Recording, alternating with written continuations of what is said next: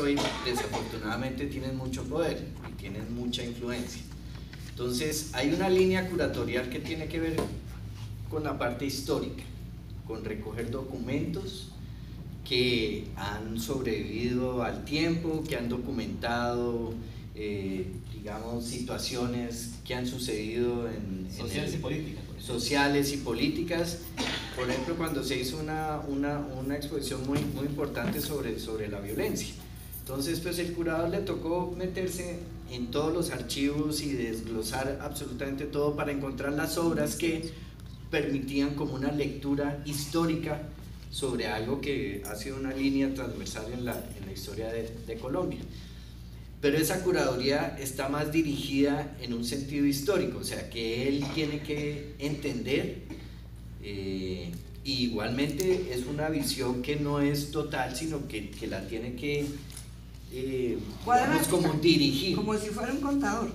Pero la tiene que dirigir porque si no, pues quedaría como una cosa, todo, todo no vale. O sea, hay que, hay que asegurarse hacia algún lado. Entonces está ese, ese tipo de curaduría. Hay otra curaduría, la tengo yo aquí planteado un segundo.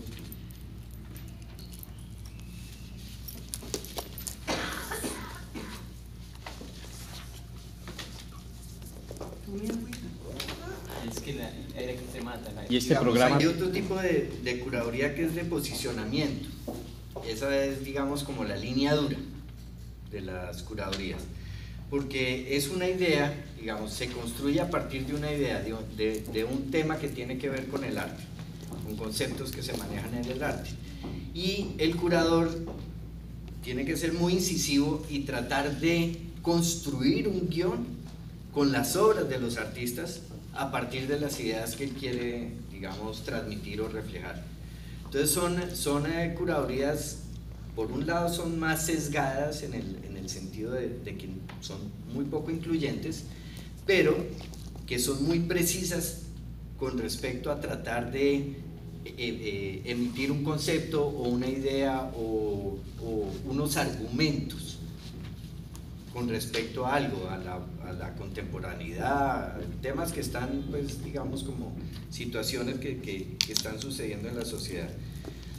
Y la, y la tercera, que creo que es más el espíritu de imagen regional y que ojalá, yo no creo que yo participe más adelante en las curadurías, pero ojalá que no se pierda eso, es que es una curaduría dinamizadora, o sea, está más dirigida a generar una dinámica en las regiones, incentivar a los artistas, ¿no?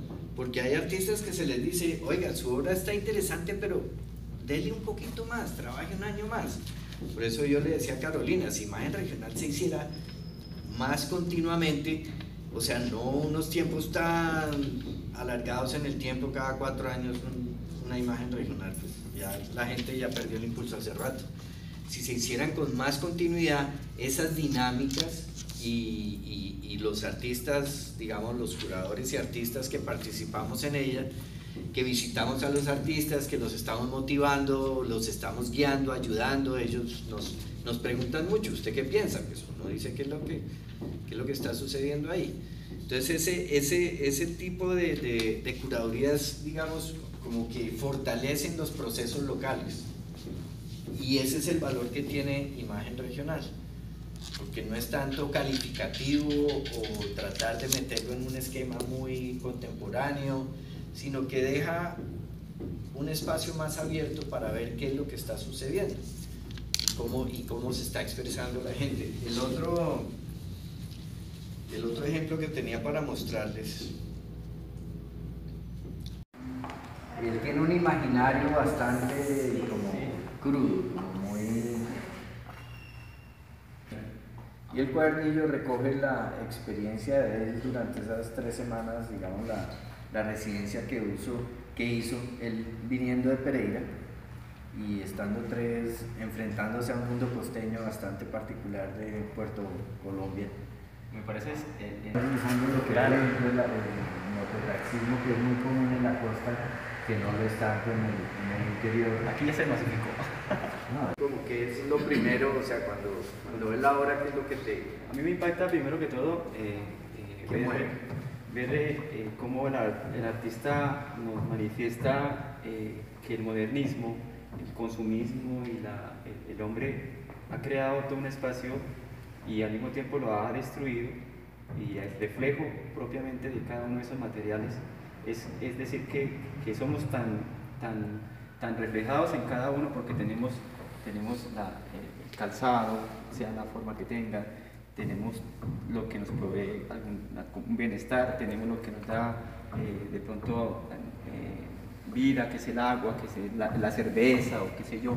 Tenemos todos los elementos que, que, necesitamos hoy en día y que hemos creado para poder sobrevivir en este mundo, pero también eh, el amarillo, con esa representación que tiene de la, del, del, oro en la zona como tal, eh, como que, que contrasta con, con, esta tubería que, donde la llave para mí es muy, muy diciente en cuanto a que regula y, y... a esta obra, o sea, una obra que es la acción de los emberacativos, de darle un valor simbólico al río, o sea, de, de, resaltarlo no solamente como un elemento del paisaje, que produce una serie de bienes y de, y de riquezas, sino que para ellos el río es como si les cortaran lo esencial.